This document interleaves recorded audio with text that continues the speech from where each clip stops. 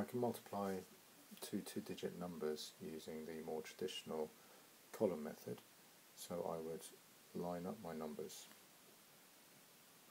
in a vertical column, 56 times 27, and you'll see that we'll essentially use a partitioning method to multiply all these numbers together. We'll start with the 7 and I'm going to multiply 7 by 6 which is 42. I'm just going to keep a note of each stage, so that's 7 times 6. Next it will be 7 times, not 5, but 50, remember that's in the tens column, which is 350.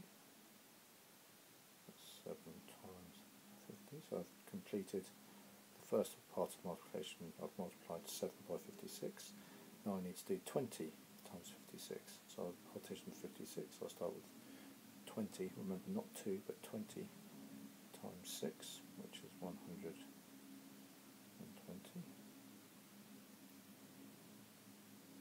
I can see I've got one uh, multiplication left, which is 20 times, not 5, but 50. 20 times 50 2 times 5 is 10, 2 times 50 is 100, 20 times 50 is 1000.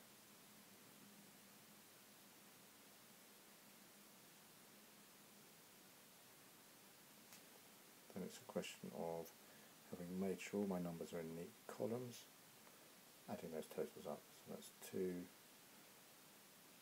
11, so I carry 1 to the hundreds column, 3, 4, 5, 1, 1512 and that's using column method to add two two digit numbers. Uh, multiply two two digit numbers